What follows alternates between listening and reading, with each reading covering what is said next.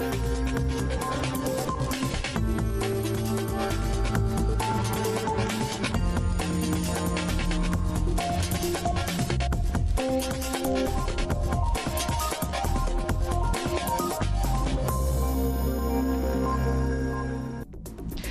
muito boa noite. Esse é o Sem Censura, direto de São Paulo, e eu sou a Marina Machado. Começo o programa desejando que esta semana seja melhor que a semana passada. Eu realmente espero que hoje já tenha sido muito melhor do que ontem e que em cada dia você e a sua família encontrem motivos de gratidão. Você já conhece a dinâmica do programa, nós teremos três blocos. Hoje o convidado é assim, absurdamente especial. Conto com dois maravilhosos debatedores e também conto com a sua participação nas nossas redes sociais usando a hashtag Sem Censura. Lembro que todos podem assistir aos programas anteriores porque eles estão disponíveis na íntegra no aplicativo da TV Brasil Play e também nas nossas redes sociais, portanto você pode compartilhar e assistir sempre que você quiser.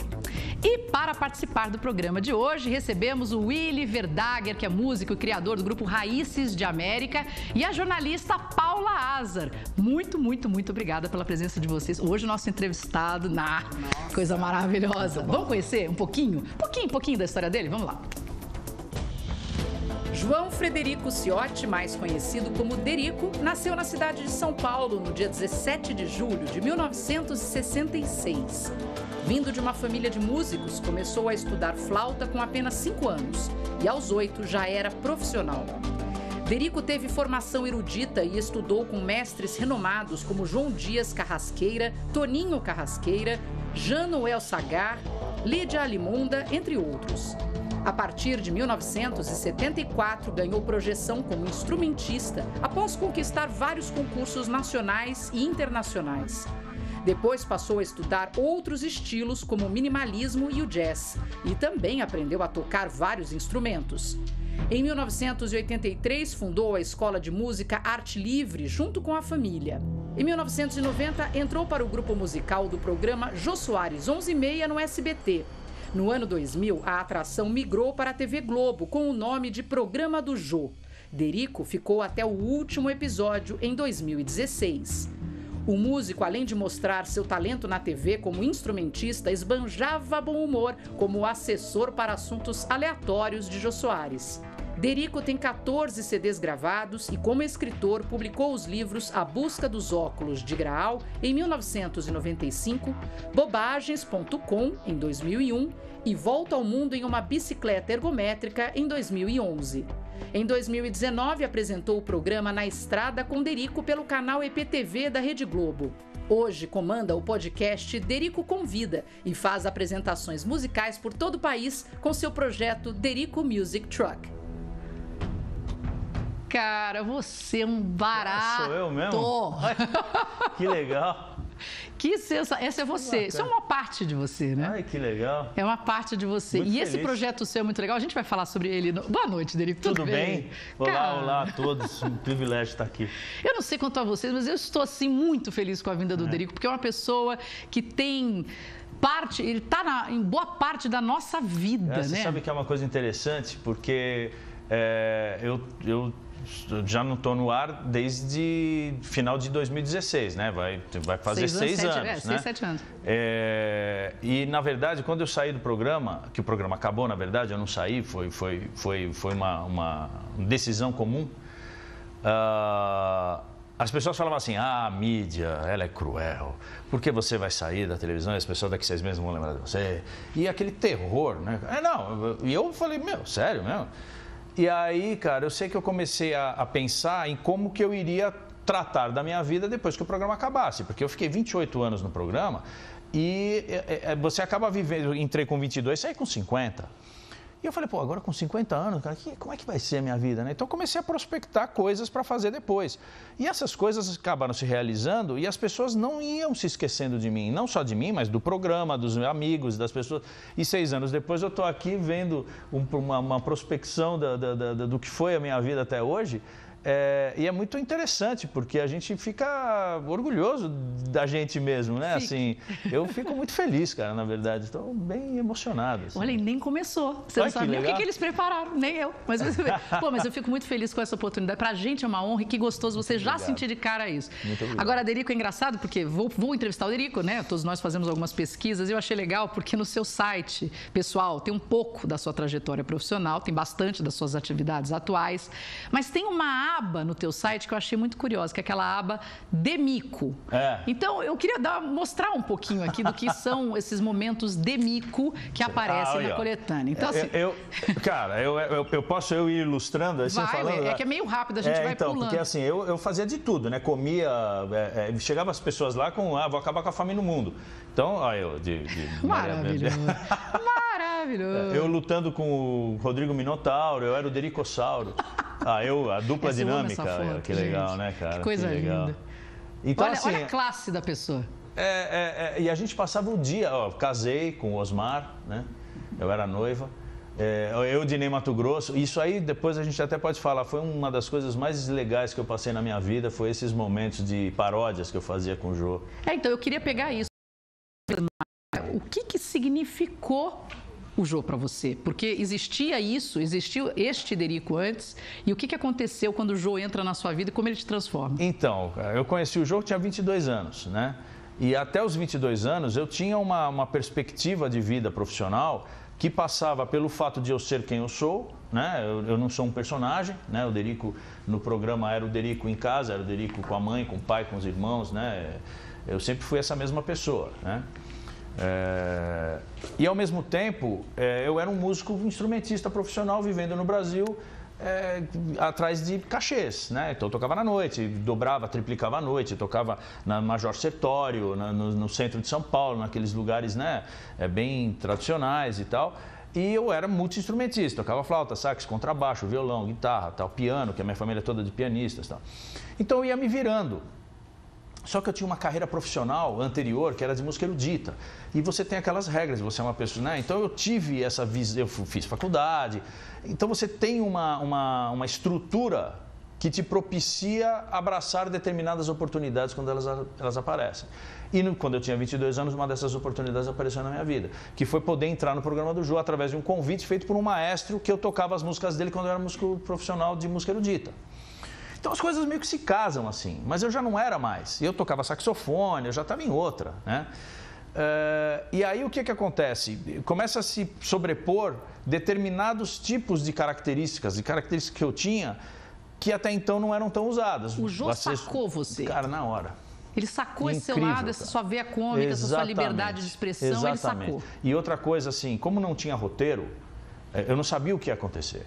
Então eu chegava para gravar e não tinha assim, ah, agora vai acontecer o seguinte: o João vai falar sobre tal coisa, ele vai chamar tal, pessoa, tal entrevistado, e em determinado momento ele vai falar isso aqui, né, aí ele vai te fazer uma pergunta. Não, não tinha. Acontecia. Então eu estava aqui sentado, como eu estou agora, ele estava entrevistando a pessoa lá tal, e Querido eu... Derico é meu assessor é, de pô, que, que é isso que você estava falando agora sobre a mosca? Derico, como é que é esse negócio? E eu tinha, eu, eu, eu comecei a ficar meio safo, então até eu chegar no microfone, eu tentava esticar o máximo possível. Três segundos para pensar. Pra, e não dava. Eu não falava, dar... O João falava assim, mais rápido. tipo, quebrava minhas pernas. Então, eu, era bate-pronto. E esse bate-pronto foi ficando cada vez mais característico dentro do programa. Não, e aí foi treinando você e foi. Exatamente. Eu não vou dar três segundos agora, porque eu vou chamar já o nosso primeiro debatedor para fazer perguntas. Tem um minuto só para fazer, depois eu dou mais tempo. Willy, Boa noite, Oi. tudo bem? Seja bem-vindo. Muito Sua obrigado. primeira pergunta, por favor. Primeiramente, obrigado pelo convite. O prazer é nosso. Prazer enorme trabalhar com este meu amigo de muitos anos. É, na verdade, com a apresentação dessa tela do, da vida do Derico, já respondeu várias perguntas minhas. Está tudo ali. Mas, em todo caso, é, é indo para a época do Jô, né? É, claro, os, tinha os entrevistados do Jô, né? e para cada entrevistado que entrava, vocês tocavam Uma 10 música. segundos, é. ou 15, não sei.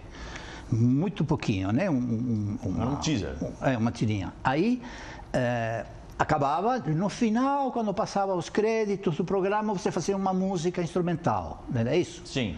Né? Eu sempre me perguntei, é, durante aqueles, todos aqueles anos de, por um lado, sucesso, você tinha inquietudes musicais próprias, eh, autorais, ou, ou de aparecer você num palco, não acompanhando, não fazendo vinhetas? Olha, eu vou contar uma história para você. Lá vem. Opa, boa. eu eh, falei, entrei no programa com 22 anos de idade, muito imaturo, na verdade. Eu fui criando essa maturidade, eu fui maturando as coisas, entender a fama, entender que você sai na rua, as pessoas te reconhecem, entender que você agora tinha 13 terceiro, fundo de garantia, férias, salário fixo, coisas que o músico brasileiro, na sua imensa maioria, não sabe o que é. Né? Então, isso foi acontecendo comigo. Só que até isso acontecer, eu tive um episódio que vai responder a sua pergunta, que foi o seguinte: eu era assessor de assuntos aleatórios. Eu fiquei com ele, as pessoas me paravam na rua e não para falar assim, nossa, como você toca, toca bem. Muito. Não, falava assim, cara, conta uma piada para mim, que, cara, ontem eu dei muita risada com você falando do pombo correr lá. Eu comecei a pensar, falar assim, cara, mas meu pai e minha mãe, eles não investiram tanto dinheiro assim em mim para eu ser um palhaço que vai ficar contando piada na rua para cara que eu não conheço. Cheguei um dia na, na, no SBT. Cheguei no. Falei, cara, eu queria falar com, com o gordo, cara. Bacana, né? Eu chamava ele de bacana, ele me chamava de bacana. Falei, cara, eu quero falar com bacana. Aí entrei no camarim, tava só ele. Assim, raro, mas só tava ele.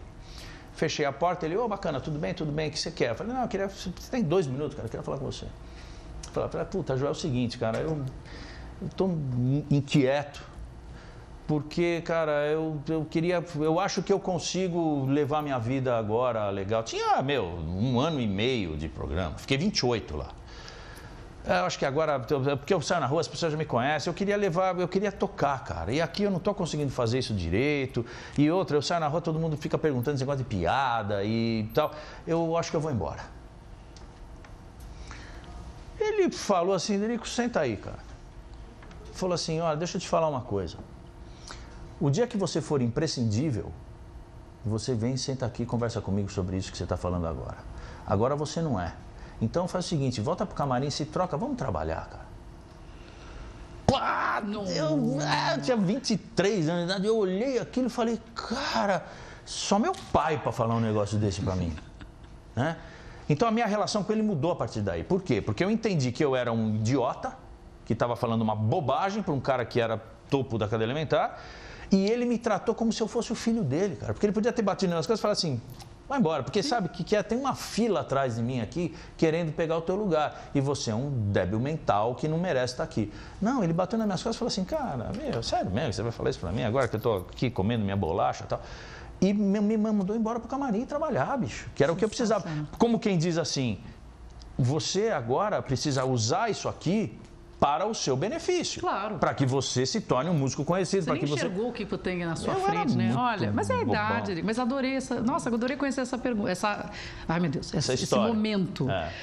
Paula Lázaro, minha amiga querida. Primeiro, um prazer ter você aqui conosco. Prazer é todo hoje. meu, uma honra pelo convite. Obrigada, Marina. E entrevistar o Derico, né? Que a música fez tanta parte da minha vida profissional também. Derico, é, eu queria saber é, pegando um pouco da pergunta dele, essa tua inquietude, você não, não te batia a história de querer pôr o pé na estrada, né? Porque você foi muito jovem para o jogo com 22 anos. Não tinha uma hora que não te dava um circutico de pôr o pé, estra, pé na estrada e sair para tocar e conhecer e tudo mais? Porque ficou 28 anos é, de rotina, uma, é, né? Tinha uma rotina. Na, na verdade, assim, era uma rotina que também te dava uma certa liberdade. Eram duas coisas que aconteciam lá. Primeiro, porque eu tinha que estar segunda, terça e quarta lá, quer queira, quer não. Então a prioridade era lá. Só que de quinta a domingo a gente não fazia nada. Porque a gente gravava dois programas na segunda, dois na terça e dois na quarta. Ah, você liberava a semana inteira em três E aí dias. de quinta a domingo, porque tá. ele usava também. Tá. A gente herdou a agenda dele, na verdade. Porque ele fazia teatro, ele tinha as coisas dele para fazer. Então o acordo dele era essa: eu vou trabalhar de segunda, terça e quarta e vou folgar de quinta a domingo. E a gente não tinha a praça é nossa, a gente não fazia calouras, a gente não fazia essas coisas. Então a gente ficava à disposição do jogo. E ele só fazia segunda, terça e quarta. E outra coisa, ele gravava seis programas na semana e usava cinco. Então ficava um de gaveta, um de stand-by. A cada dez semanas, ele tinha duas semanas de stand-by. Então a gente ficava 19 dias de férias. Ah, que sensacional. Então, a cada 10 semanas, que dava dois meses e meio, a gente ficava 19 dias de férias. Então a gente tinha dois meses e meio de trabalho, 19 dias de férias. Dois meses de trabalho, 19 dias de férias e três meses de férias em dezembro, janeiro e fevereiro. Voltava Olha. só em março. Então eh, a gente conseguia fazer uma espécie de um bem bolado ali. Mas o que foi passado aqui no começo, que é esse projeto que eu tenho do Derico Music Truck, que é esse show itinerante que eu faço com, com, com caminhão, eu já tinha antes do programa, só que eu não conseguia realizá-lo porque a caravana holiday. A partir do momento que eu vou, eu não tenho como voltar. E eu tinha que voltar. Então, esse, esse, esse projeto ficou, ficou parado por um bom 28 tempo. anos. Agora, eu quero pegar essa sua faceta de assessor para assuntos aleatórios. Ó, já estou embotado, hein? Vamos ver um pouquinho aqui. Iderico, você, como meu assessor para assuntos aleatórios, volta agora a mil já com uma resposta aqui para a Letícia, que diz, que diz o seguinte: Prezado Jô, no domingo da semana passada, numa conversa na hora do almoço, usei a expressão assim falou Zaratrusta. Meu marido, que adora me corrigir, disse que o certo é Zaratustra e não Zaratrusta. Meu sogro, com áreas de intelectual formado em palavras cruzadas, afirmou que o certo é assim falou Zaratrustara. O sogro falou Zaratrustara. Beleza. Perguntei depois a vários amigos, cada um dizia uma coisa. Jô, como eu não disponho de uma enciclopédia, resolvi escrever e perguntar para você. O certo é Zara o quê? Derico, o certo, como é que falou? Usar. É... Falou trusta, trustra, ele, truastra ele, ou ele trustra? por ser vegetariano, o certo é como é, assim, é um gosto pessoal dele, eu não posso, eu não posso fazer nada. Sim. É Zaratruta. Não. Não. A Zaratruta porque ele é vegetariano. vegetariano. Como truta, todo vegetariano, ele só come, só come peixe. Só come truta. Não, truta não é um peixe. Aí é que tá. A truta não, não é, é, um peixe. peixe. O que, que é a truta? A truta é um acompanhamento, é um acompanhamento da alcaparra. A truta é um, é um acompanhamento, acompanhamento da, alcaparra da alcaparra e das amêndoas. Ah, quer dizer que a truta então é não um vegetal? É um, peixe, é um vegetal. E como vegetal. Você tem uma plantação de trutas? Não, eu tenho uma plantação de zara. Você desacredita você? É, não, e outra, depois eu fico pensando, cara, como é que eu tinha coragem de fazer um negócio desse? Sério? Sério, para o mundo inteiro ver, entendeu? Ao vivo. Pô, e o, e o, cara dava corda. Você vê que ele vai dando corda. Não sei quanto tempo ficou no ar isso, um minuto. Do... Pensa num, num, negócio que dura um minuto, um minuto e meio de um programa de televisão, que é só bobagem. Não tem 1h45 coisa... diz o nosso diretor, porque a gente sabe o Você tempo dessa é conversa. É? Uma bobagem. Só que isso dava. Os caras ficavam alucinados. Ah, que legal! Mas que isso tem um, um, genialismo por trás, Drico. Porque é, ter essas sacadas não é fácil. Não é qualquer um que tem uma sacada dessa. Eu fiquei pensando o que, que ele vai responder. Jamais iria. Jamais, jamais, jamais. Mas aproveito agora, então, para passar para mais uma rodada de perguntas dos nossos debatedores. Willy, por favor. Sim, bom, sobre o mesmo tema, o mesmo assunto. Não, porque você é um gênio, um gênio de, de, da, da chispa.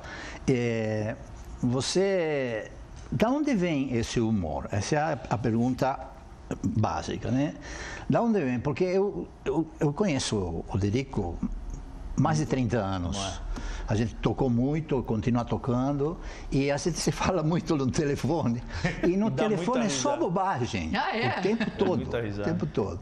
Então, é, tudo bem, aí você foi fazer esse programa, e você desenvolveu isso, mas isso não, você não, não rolou aí. Não. Foi é, na sua família, é. em algum lugar foi antes. Como que era um almoço em casa? Ah, Como cara. que era, então, isso? Você era o Jim Carrey não, da família? Não, assim? mas assim, não era só eu, porque eu fui adquirindo isso de ver as pessoas fazendo. Então, assim, eu sou de uma família em que meu pai é filho único, e minha mãe tem 10 irmãos. Uh. Então, a, a, família da minha mãe, árabe, é, vinha com trocadilhos, piadas, música, tudo isso era da família da minha mãe. E o meu pai, filho único italiano, era o rei, o rei, o rei de tudo isso que a minha a família da minha mãe tinha num cara só. Então a família da minha mãe abraçou o meu pai. Tanto é que meu pai tinha nos meus tios os irmãos dele. E ele era filho único italiano, não tinha nada a ver com árabe, era outro mundo, completamente diferente. E, eu, e aí eu via, eu via meu pai, convivi com meu pai durante 21 anos da minha vida, todos os dias, né? E ele era, ele ganhou concurso de frase, sabe essas frases que você faz e ganha um carro? Ah. Ele, ganha, ele ganhava, porque ele, ele era uma pessoa muito astuta, assim, ele era uma pessoa muito inteligente nesse lado. E ele tinha uma visão de humor. Então, tudo, minha mãe ficava muito chateada, para não dizer outra palavra, com meu pai, porque tudo para ele era engraçado, tudo para ele era uma piada. Ele, ele não tinha a capacidade de se. De se é, é, é, é eu ia falar uma outra palavra aqui, mas. Eu perco amigo, mas eu não perco piada. É, sabe? Ele era muito legal, muito legal. Então, meu pai, que é o meu irmão, que você conhece, Sim. o Sérgio, é o meu pai.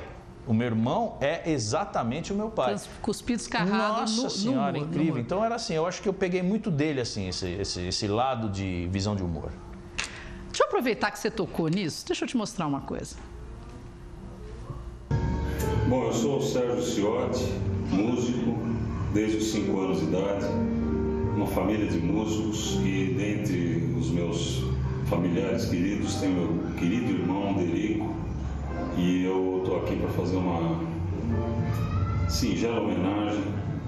E para você, meu irmão, eu agradeço de coração, eu sempre falo, é, nesses momentos de turbulência e mesmo antes, toda a força que você me deu na minha carreira para eu poder conquistar meus objetivos. Você foi essencial para mim, sempre, e sempre vai ser. Eu agradeço de coração mais uma vez por tudo que você fez. Continue essa caminhada sua, você merece muitas bênçãos para você, saúde sempre. E olha, meu irmão, tamo junto, é. tá? Mais uma vez, obrigado e fica com Deus. Um grande beijo. Tchau. Meu irmão, queridaço. Aí eu tenho um, um dueto com ele, Dulciote, eu e ele, há 40 anos a gente toca junto. Olha só. Desde 1982 que a gente toca junto. E não briga? Não, sim, não é que não briga. É que a gente tem uma dinâmica que a gente não tem tanque de lavar roupa. Então a gente lava a roupa na hora, na hora ali. Já resolve, é, já não passa, leva, tá não, não compra detergente, a gente já faz tudo ali. É mais e, saudável. E ele é um, um, dos melhores pianistas que eu já vi tocar na minha vida. Que assim. legal é, isso. Ele é muito querido. Hum. Paulo Lázaro, por favor. Derico, você veio de uma família de pianistas, Sim. né? Pedrinho Mata, Meu tua tio. mãe tocava também, Também. seu irmão é pianista. Por que, que você foi pro sopro? Porque eu sou filho caçula. contra. É, eu sou, fi- eu- eu sou filho caçula, né? Aham. Então, todo mundo na minha família toca piano. E tem piano em casa, em todas as casas, de todas as pessoas da minha família, tem pelo menos um piano. Minha mãe tem quatro. É, é, eu tenho um lá na minha casa, tal, e aí meus filhos tocaram piano e tudo, e tudo assim. Quando eu, eu assoviava com um ano de idade, e aí, é, é, Deriquinho, né? Porque o meu avô era Federico, Federico Chiotti, e eu fui o próximo de Frederico. Então, ele era Derico e eu era Deriquinho. Quando ele morreu, eu fui alçado ao patamar de Derico, ganhei essa herança. E aí o Deriquinho, porque o Deriquinho e tal, e aí ele vai tocar piano também, e a minha mãe falava com meu pai, né, Sérgio, é piano, todo mundo toca piano, e ele assovia, eu acho que eu vou dar uma flauta doce para ele, porque é o, seria o caminho natural. Aí eu com 5 anos de idade me lembro, isso eu me lembro, de assoviar com um ano eu não me lembro. É, eu cheguei da escola, eu era eu estudava em escola marista, cheguei da escola, deixei minha mochila, minha lancheira, minhas coisas, e tinha uma flauta deitada no sofá da, da, da, da sala, que eu tenho até hoje, né? 51 anos que eu tenho essa flauta. É, e pá, aí a minha mãe disse, ah, Deriquinho, você viu lá o presentinho da mamãe? Eu falei, ah, vi, mas não. Ah, quer lá, pega. Aí, pô, a hora que eu toquei, era, era, é, externou aquilo que eu tinha dentro Aquela de mim. conexão do avatar. assim. Que Porque é, o assovio nada mais é do que um instrumento interno, como é a voz, que você é, tem o poder da, da, da, da- manipulação. Você controla o assovio. Você quer fazer mais agudo, mais baixo, mais grosso, mais ah, grave. Você, e a flauta te dá esse poder de você instrumentalizar aquilo lá. Você trouxe uma, né? Eu trouxe a minha flauta transversal. Então vamos fazer Não o a seguinte. doce, eu trouxe a transversal. Você vem aqui comigo. Vamos sair Pode. para este bloco, fazer um rápido intervalo. Vamos. Gente, quando eu digo rápido, aqui não tem mentira, não. É sem censura e sem mentira, porque é rápido mesmo. Mas a gente sai para o intervalo com você tocando. Eu vou tocar uma coisa e aí, na hora que sai. tiver que cortar, é corta, dá, dá vontade. É um choro do Pixinguinho, vou uh, fazer. Que delícia, ser? vai.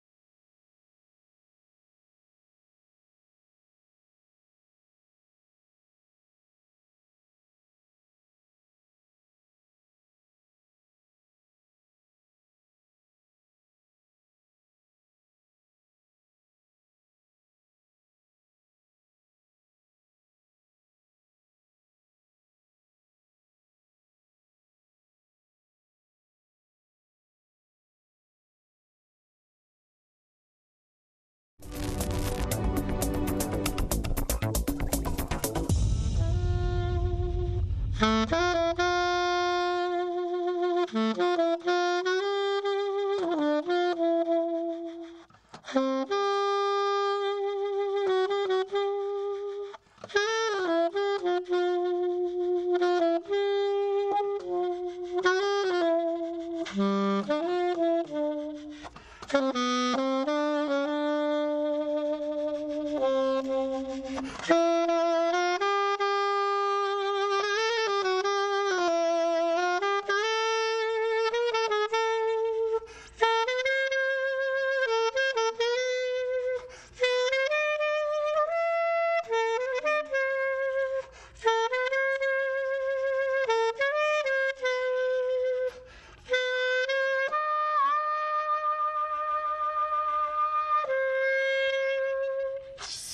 Sensacional! Ah, não, pera, calma. Ai, as mulheres ficam enlouquecidas comigo. Desculpa, marido. Você vê como é que é? Desculpa. Mas é o Derico cantando My Way. Cantando não, tocando, tocando My Way. E aí, agora que você já sabe, Eu conte. não sabia, é uma música francesa, mas Isso. Frank Sinatra imprimiu no meu não, coração. Não, é, então, mas quem fez a, a, a, versão em inglês foi Paul Anka. E foi o Paul Anka que fez e, e aí, depois E aí, Frank Sinatra, Frank Sinatra, e com Elvis Presley. Pense. O cara. E agora eu sou a terceira pessoa. Sensacional, pelo amor de Deus. Eu só não abri minha boca para cantar, porque senão vocês iam ficar chateados comigo. Mas com isso eu digo que nós estamos de volta com o nosso Sem Censura. E o convidado dessa noite é este ser, este músico, este escritor e este empresário. Pense. Derico Ciotti, o homem. Derico, é, você topa ser um, um pouquinho poético? Se eu conseguir? Consegue, não, sem dúvida, consegue. É, muitas vezes a gente vê um músico completamente envolvido pela música que ele está tocando, né? A pessoa Sim. fica absorta naquilo. Você Sim. fecha o olho, você joga o corpo de um lado para o outro, a pessoa está pirando naquela coisa do som. Você consegue descrever o que, que acontece dentro de você? Por exemplo, né? Porque você tem que respirar, você tem que assoprar, você tem que Sim. lembrar da nota, você tem que apertar, você tem que fazer um monte de coisas, mas tem outra coisa acontecendo e aí parece que é de outro mundo. Ó, oh, por exemplo, tivemos a experiência agora da volta do bloco. Sim. Eu estava tocando My Way para você. Sim. eu estava tocando My Way para você e não estava pensando em absolutamente nada. Nada. Eu estava meditando. Então, assim, minha mulher é mestre em yoga. E ela fala assim, Derico, você trabalha muito, você é uma pessoa muito ligada, você é uma pessoa muito uh, com internet, você precisa fazer meditação. Eu falo, Rê, eu faço. O meditação. tempo todo. Porque quando eu estou tocando, eu não penso em nada. Meditação não é isso, é você se desligar do mundo. Ela fala, é. Eu falo, então eu faço isso, porque eu me desligo do mundo. Nesses 45 segundos, um minuto que eu toquei para você aqui, não existia ninguém aqui. Não tinha nenhuma câmera ligada. Eu não estava falando e tocando para ninguém a não ser para você, porque você estava do meu lado e eu estava olhando para você. Morram fora de isso, ai, tá vendo? Mas fora isso, eu não tenho nenhum. Agora, por exemplo, quando eu estou tocando com orquestra, hum. com uma partitura na minha frente que eu tenho que ler o que eu estou tocando, muda completamente de figura, tá. porque eu também não penso em nada, mas eu estou pensando único e exclusivamente ali. Quando eu estou tocando com o Willy Verdager, por exemplo, no Mauaca, que é um grupo dele, com as músicas dele, que são músicas extremamente difíceis de serem tocadas, eu tenho que estar atento àquilo. Né? Então, por exemplo, até eu decorar as partes, eu estou pensando naquilo. Depois que eu decorar, que eu fechar a partitura e conseguir tocar todas as notas sem precisar ler, ouvindo todos os outros tal, aí eu vou meditar. Né? Mas até então eu estou tocando, não estou pensando em nada, mas eu estou com aquela, aquele foco na minha frente, que são as partes que eu tenho que ler. Né? Então são dois momentos distintos. Ah, Por exemplo, você pega o cara que está tocando uma guitarra no show de rock and roll e ele está de olho fechado, ele não está lendo nada. Não está lendo nada, né? Isso facilita para você colocar emoções, para você Se ter. Se completamente. Exatamente, né? né? Você não está preso a uma partitura. Muito bem, então eu não vou me prender a uma partitura, mas vou trazê-los para o telão. Vamos Olha. lá? Meu nome é Ed Cortes, eu sou músico, compositor, maestro e amigo do Derico há muitos anos, desde os 17 anos. É. Dericão, o que, que eu vou falar sobre você? Talvez contadas é. capotadas de carro que a gente já deu é. junto, talvez da gente tentando se justificar para o seu Cabral sobre um concurso de bombas na piscina pelado, Exatamente. talvez contar dos nossos concursos de sinuca Putz. e Steinhegger junto, que é, não deviam nunca estar juntos, né? Talvez contar das nossas pizzas no Eric, da, de tanta coisa legal que a gente já passou artisticamente, Nossa. de tanta música boa que a gente já fez.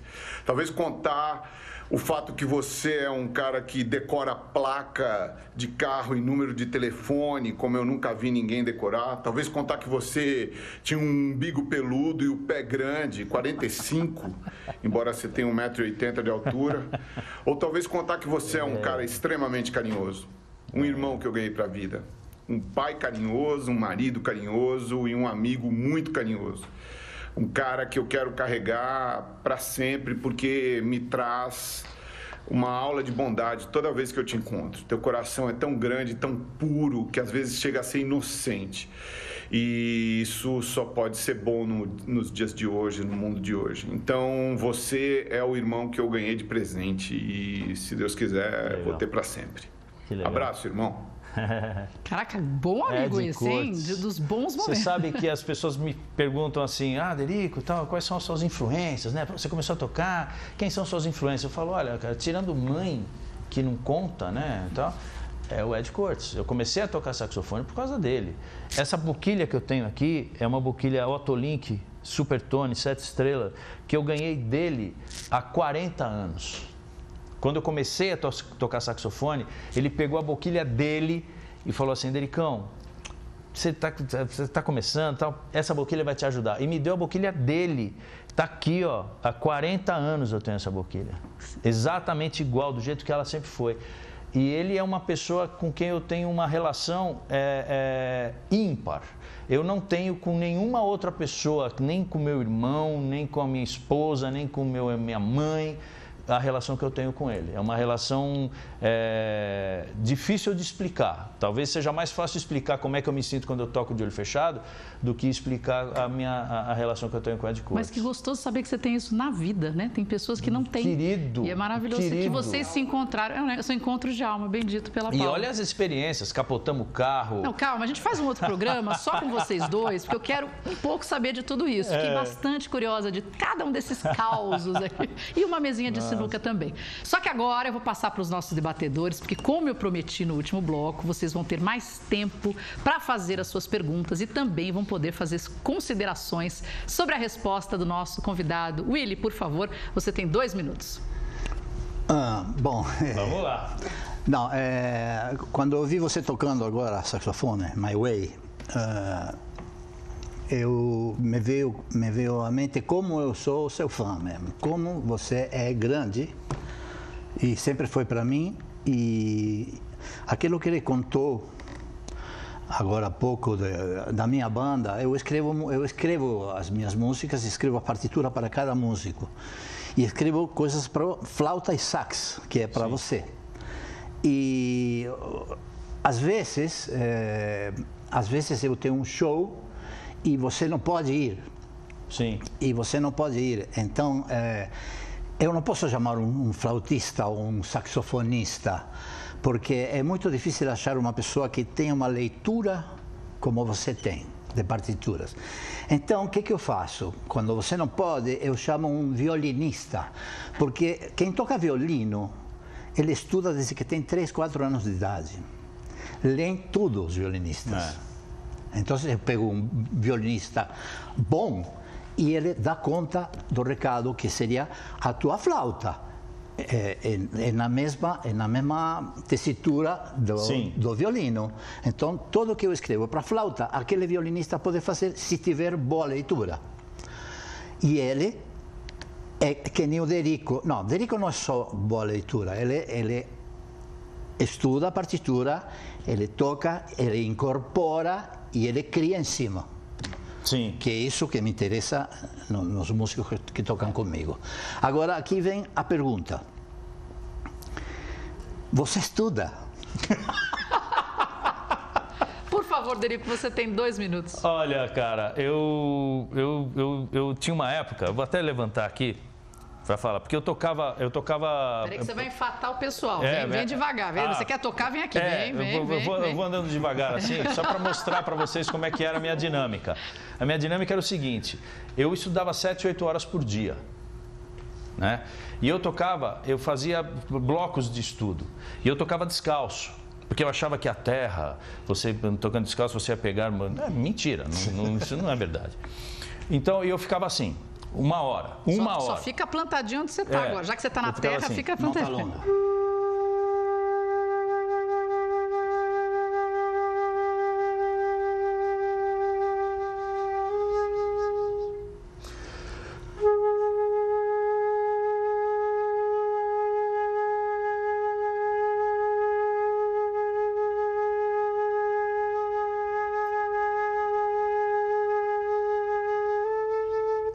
ficava horas fazendo isso.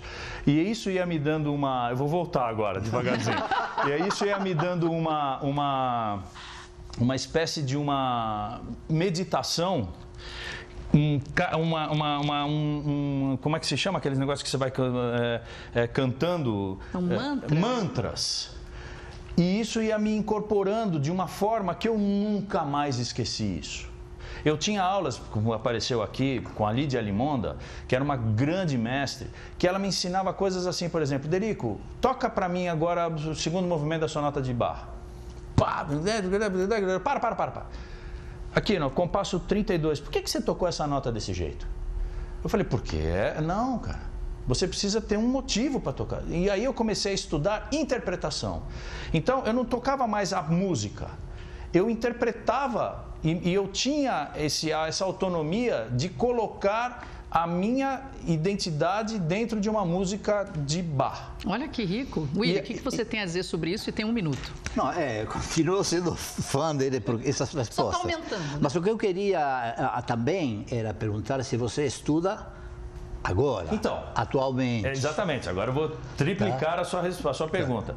E, por exemplo, as partituras que você me manda, né? Você me manda as partes, me manda o áudio. O áudio eu ouço e falo assim, pô, é isso que eu tenho que tocar. Só que agora eu vou tocar isso do jeito que eu aprendi quando eu era moleque.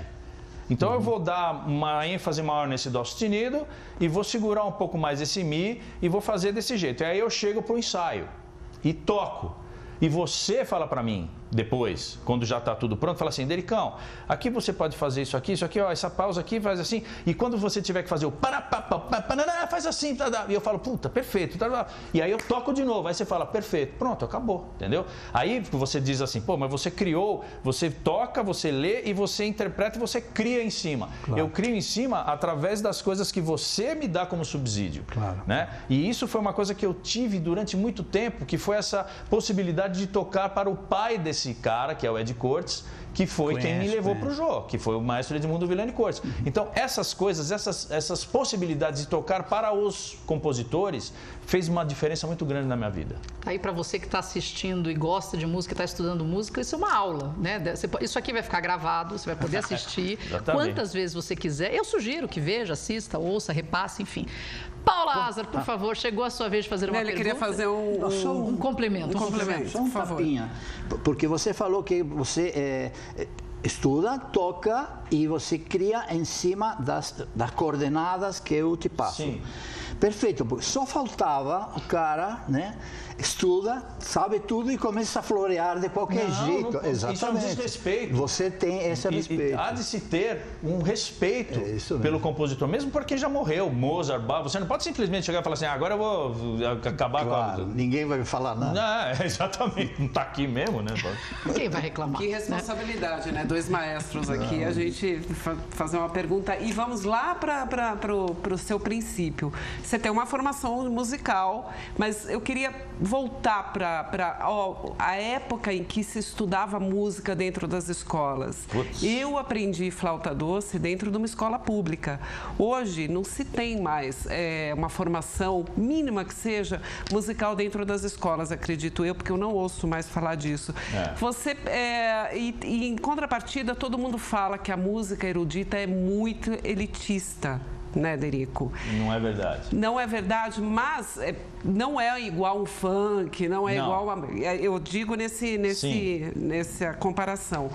Você acha que se hoje tivesse uma, uma uh, voltasse a época de ter aulas de música dentro das escolas, as pessoas iam conseguir ter um, um gosto mais aperfeiçoado musical, principalmente no Brasil? Então, aí é que tá. Isso é, uma, é, uma, é, uma, é um debate muito amplo e muito polêmico, uhum. na verdade, porque é, é, o funk não é uma falta de gosto musical.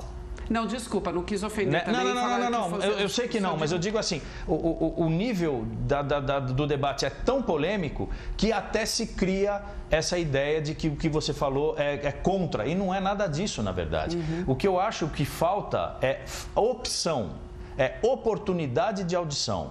Né? Você tem, o, o Brasil é amplo, é riquíssimo. No, na, na, diversidade cultural, não digo só musical. Nós estamos falando de música aqui porque vai puxar sardinha para o que a gente está fazendo agora, o métier da gente. Mas a, a cultura brasileira é uma cultura é, é, é respeitada no mundo inteiro. o balé, o teatro, o cinema, a música, né, a pintura, são, são, são artes e são tentáculos da mesma arte é, é, é, que são reverenciados no mundo inteiro. Aí você pega a música, que tem linguagens distintas em cada lugar onde você vai. Eu viajo o Brasil inteiro. A música que se toca no Rio Grande do Sul é completamente diferente da música que se toca no, no Amapá. Porém, os dois cantam em português. Então, além de tudo, você tem a mesma língua com linguagens diferentes. Né? E isso estou falando da música. Aí você entra com uma música que é universal, que a Marina falou agora, que é uma música instrumental. Né? É uma, é, uma, é uma música que você toca em qualquer lugar do mundo. Você toca Garota de Ipanema, My Way. Você toca My Way em qualquer lugar do mundo, sem falar, sem cantar, todo mundo entende porque é uma linguagem universal, né? E como é que você ensina isso para uma criança? Como é que você faz a criança se seduzir por uma linguagem dessa? Independente de game, independente de outras, do esporte, de, você chega para uma criança de 5, 6, 7 anos de idade na escola e fala assim, cara, essa linguagem ela é tão legal que ela socializa, ela forma caráter, ela deixa, ela acaba com bullying, é, é, é, porque você tem uma coisa que outras pessoas não têm. Então a pessoa vai parar de falar que você é gordo, vai parar de falar que você é não sei o quê. Por quê? Porque você toca uma música que ele não toca. Paulo Lázaro, você tem agora um minuto para comentar. Não, eu não quis dizer na, na, que o funk seria uma. Eu concordo. É, um, eu estou falando do batidão, né? Podia ser funk, eu estou falando do batidão. As pessoas, se elas tivessem um pouco mais de oportunidade, oportunidade de ter o, o contato com a música erudita, ainda pequenos, se elas não teriam uma outra perspectiva musical. Eu acredito que sim. Eu tenho, eu tenho, eu não vou dizer que eu tenho certeza absoluta, porque a certeza absoluta não existe. Né? Eu tenho uma certeza relativa uhum. de que essa, essa, essa, essa opção que você está dando é muito, muito saudável. Você dar a oportunidade para as crianças e adolescentes no Brasil terem contato com músicas distintas. Uhum. O Derico Music Truck nada mais é do que isso, é eu levar a oportunidade de audição de música instrumental em praças e parques públicos tocando de graça para as pessoas. Elas vão estar tá lá andando com cachorro, vão estar tá lá comendo seu hot dog e, e, e andando, correndo ou tomando uma água de coco, o pai, mãe mãe, filho, preto, branco, amarelo, vermelho, A, B, C, D, está todo mundo lá, escutando, tendo oportunidade de escutar um estilo de música que é muito difícil de se ter no Brasil. Né? Então, na verdade, é, é, o que, que falta? Vontade política, porque a lei existe, a lei existe. É uma lei de 2008, que depois a Dilma Rousseff, em 2014, é, promulgou, em 2016 acabou virou aquela lei que não pega. Então, como, é que faz? É, como é que a gente consegue fazer isso? É, é, é, é até uma outra coisa, assim, eu vou até me estender um pouco, mas você me corte, mas com a casa Já ia fazer isso agora. É, não, então, só, só, só, só, dando um trago, porque é o Já seguinte... aquela respirada. É, eu acho que eu consigo fazer muito mais estando fora da área política nesse tipo de situação do que se eu estivesse dentro. Ah, pô, Derico, por que, que você não é secretário da cultura? Porque eu, não, eu acho que eu não vou conseguir fazer 10% do que eu faço se eu estiver fora. Entendeu? Então, essa é a minha meta hoje: conseguir atuar fortemente na cultura do Brasil sem estar no métier político. Eu acho que eu consigo ter uma eficiência muito maior. Né? Ah, não foi nem tanto assim. Ah, eu ia ainda bom. falar do, do, do, poder do cinema, trazendo músicas, né, que estavam né, longe. O Sing, por exemplo, que é um desenho animado infantil, Sim. que trouxe músicas maravilhosas. Hoje, meus filhos pequenos adoram Sing por conta. E adoram essas músicas. E, né, o My Way do Frank Sinatra está lá. Adoro, enfim, mas é, essa é uma discussão bem mais ampla. É, só que eu quero chamar a atenção para vocês agora para um outro depoimento que chegou para gente. Vamos ver. Salve galera, eu sou o guitarrista Marcinho oh. Pra mim falar do Derico é muito fácil, afinal de contas nós somos muito amigos. Eu conheci o Derico há muitos anos atrás em um estúdio em São Paulo, tocando contrabaixo. Aliás, quem não sabe, o Derico é um excelente contrabaixista e o pessoal chamava ele de Fred.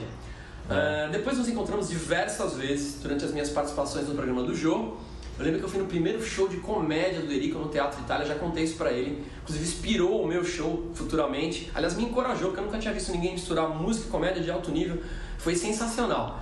É, a nossa amizade foi selada definitivamente durante a minha participação no programa do Jô, quando eu fui substituir o Tomate, que ficou doente. Eu fiquei quase um ano né, convivendo com o Derico e aí a nossa amizade realmente fortaleceu. E nós temos uma história, eu não sei se é engraçada, se é dramática, no mínimo curiosa. Meu último show, aliás, foi um workshop antes da pandemia foi com o Derico, em Balneário Camboriú. Na loja Toque Musical. Exatamente. Então foi muito marcante pra gente. A gente fez o show, inclusive, o pessoal tava chegando, chegou um menino de máscara. É. No meio de todo mundo, assim, a gente se olhou, será que ele tá certo, será que ele tá errado? O menino também ficou um pouco constrangido, todo mundo ficou se olhando. Pensamos até em desmarcar, mas a gente não sabia, tava tudo meio ainda confuso.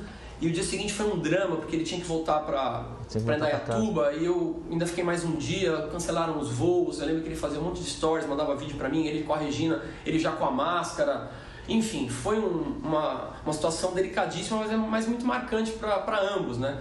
Eu lembro que depois também durante a pandemia a gente se falou muito, né? Pelas lives, por telefone, ele me ligava muito para saber como é que eu tava, e cada um, né, se apoiando no outro com os dramas, mas o nosso último show juntos foi bem marcante antes da pandemia, até tudo voltar ao normal.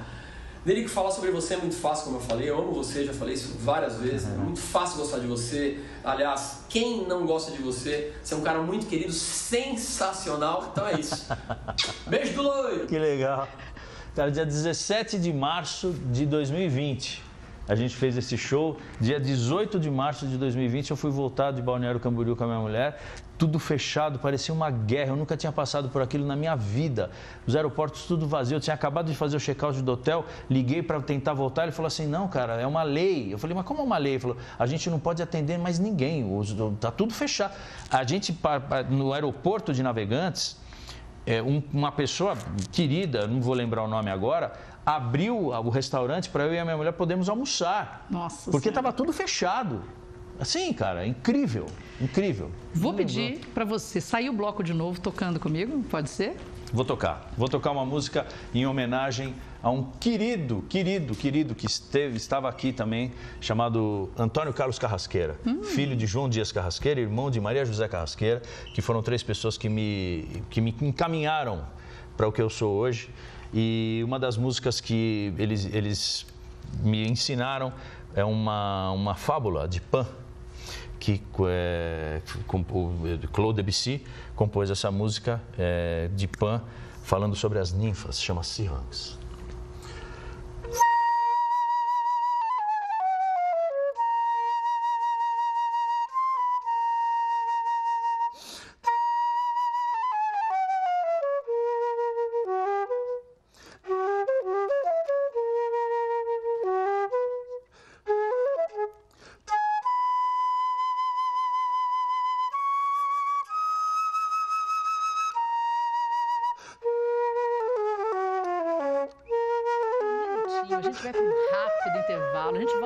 Sessão de perguntas, tem o debate pronto, tem mais música, não sai daí.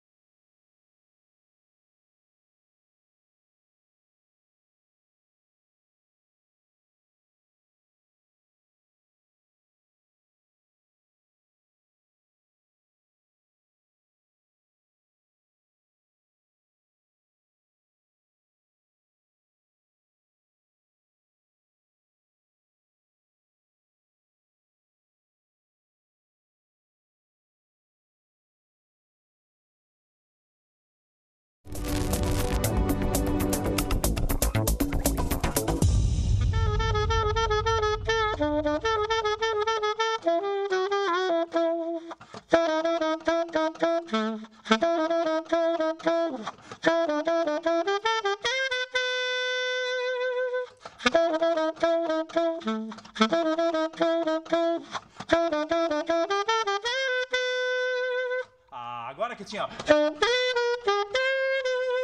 Você foi cortar não, justo, vai, Mete bronca em cima.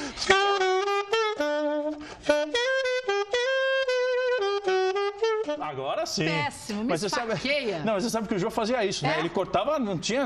A gente, se ele estivesse olhando, amor, era, justo agora, ah. tá, você vai cortar.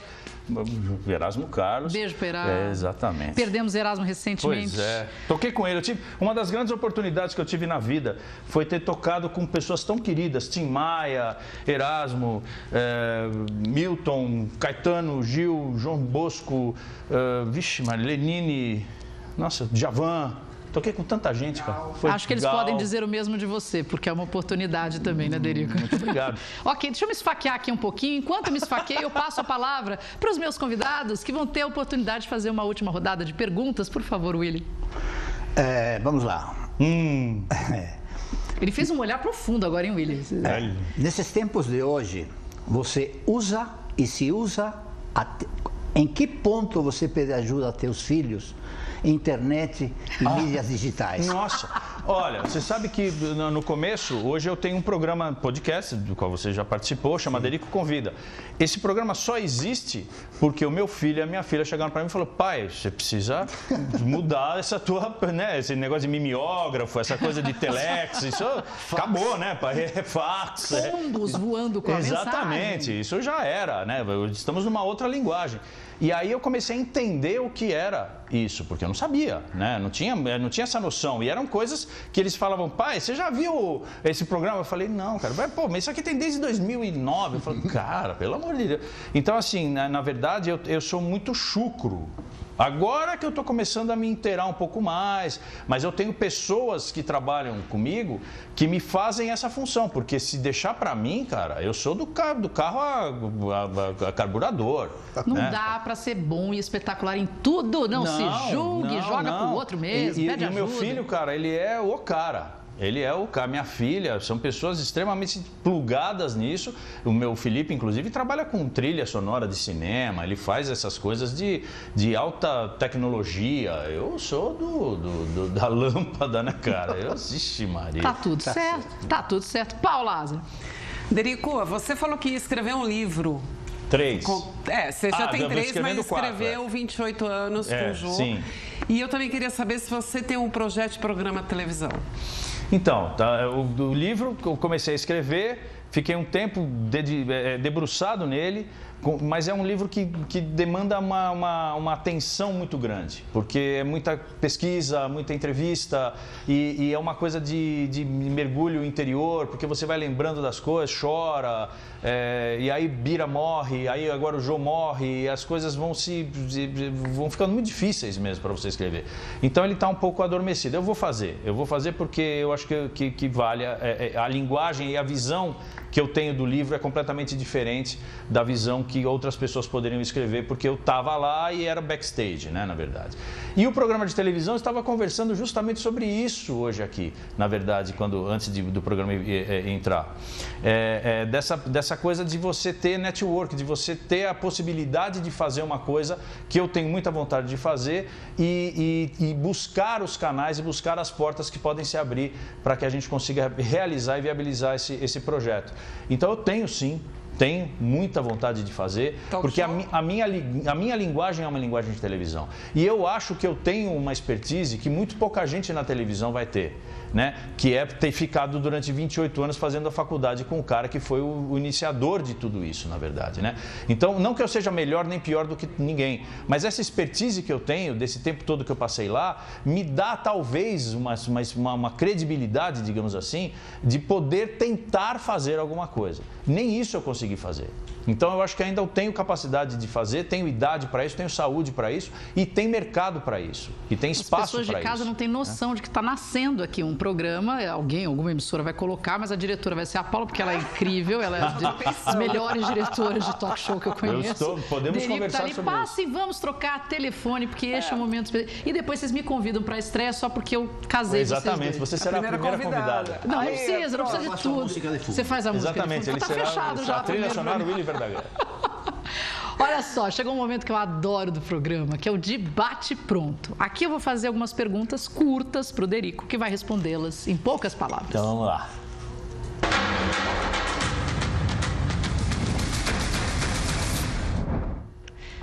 Derico, você tem inveja do cabelo do Slash, guitarrista do Guns N' Roses? eu acho que não. Na verdade, não, não, não tenho. Aliás, eu não acho que eu não tenho inveja nenhuma, de oh, nada. santo. Você já tirou sarro de algum violoncelista no aeroporto? Porque, né, o instrumento dele é muito maior? Ah, mas não tenha dúvida. Lidar com isso aqui, ó, é uma bênção dos deuses. Quando você quer silêncio, aonde que você se refugia? Em casa. Você tem medo do quê? Eu tenho medo de não conseguir tocar mais. Tenho medo de machucar minhas mãos. Melhor memória dos anos 80? As diretas. Olha. Se você pudesse reviver algum momento da sua história, qual você gostaria de reviver? as diretas. Olha que marcante, legal. Bom, terminado o debate pronto, porque ele é rápido mesmo, nós vamos para mais um depoimento. Ó, oh, doutor Bento! Fala, Dericão!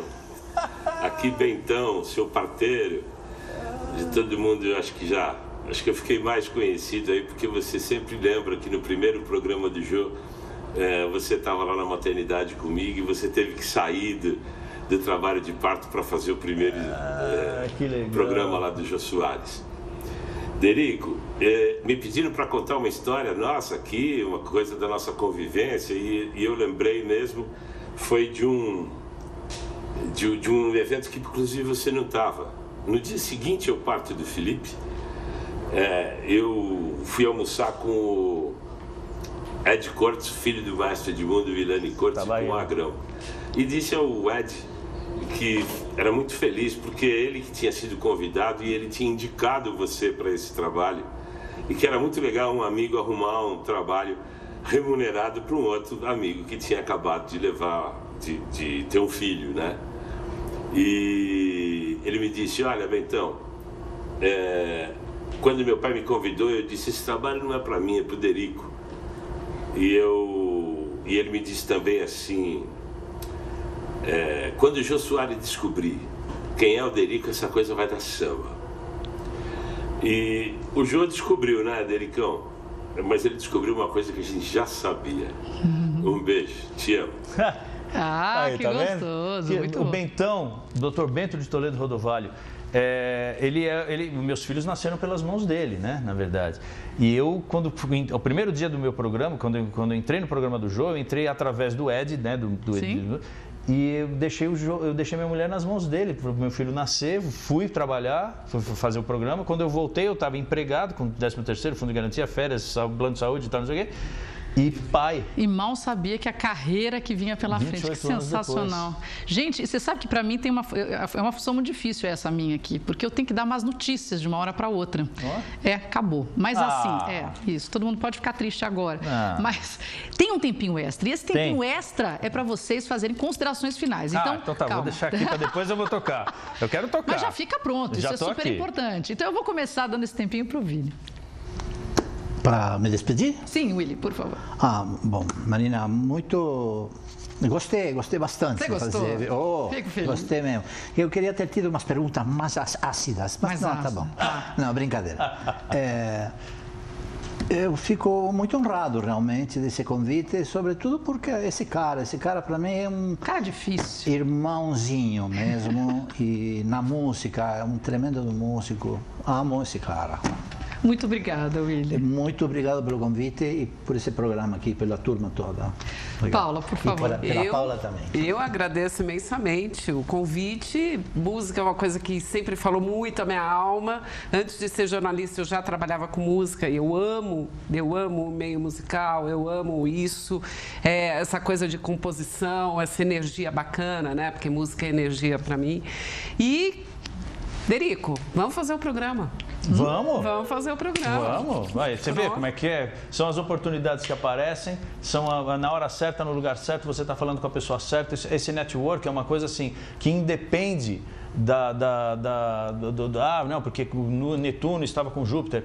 Não, é você ter um projeto. É. Né? Eu acho que isso é uma coisa muito importante para quem está assistindo a gente aqui. É, é, tenham projetos tenham ideais, tenham vontade de fazer as coisas, tenham é, é, e principalmente atitude. É, não tenham medo de fazer as coisas. Porque, na verdade, é, é, é, o, o, fracasso está em você não fazer. E não fazer e não dar certo. Não fazer, fazer e não dar certo não é fracasso. O fracasso é você não fazer porque você teve medo de, de tentar realizar alguma coisa que estava dentro de você. É isso que a gente está conversando aqui agora. Vai que dá certo. Não, já vai deu, dar certo. Já deu, e a Marina como madrinha nossa. Aí, Sim, né? tá. E trilha sonora, William Verdaguer. Opa. É um azul e branco, tem uma coisa meio, né, super, é. né? Tá maravilhoso. Eu estou muito feliz por você vocês, de verdade. Que Nasceu um casamento, fiquei muito contente. Gente, só que é o seguinte, agora eu vou ter que de fato encerrar o programa. Venha pra cá. Vou. Venha pra cá, porque eu quero dizer vou. que você vai ter um espaço para tocar aqui. Eu vou em algum momento sair dizendo tchau pro pessoal, mas você continue tocando ele, porque a casa é sua. Ai, agora vai, escolhe algo do coração. Então eu, vou, eu vou escolher uma música também, uma, uma homenagem a uma grande, grande, grande amiga, parceira e cantora maravilhosa que também nos deixou há pouco, que é essa aqui, ó. É...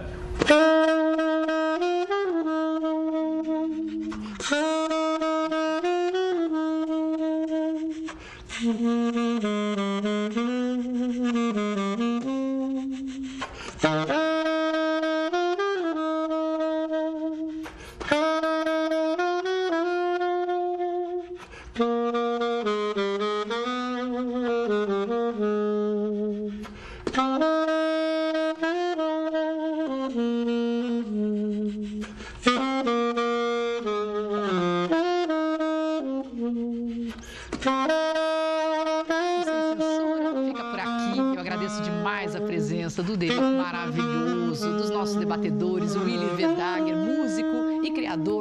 Raízes de América, a jornalista Paula Azar. Meu muito obrigada. A nossa intérprete de Libras, a Francine Justine. E eu peço que você continue ligado nas redes do programa. A gente volta na próxima segunda-feira, sem falta, às nove da noite. Preparem seus argumentos. Semana que vem tem mais. Ótima semana a todos. E olha, vamos embora com esse som? Até lá. Tchau, tchau. Cup.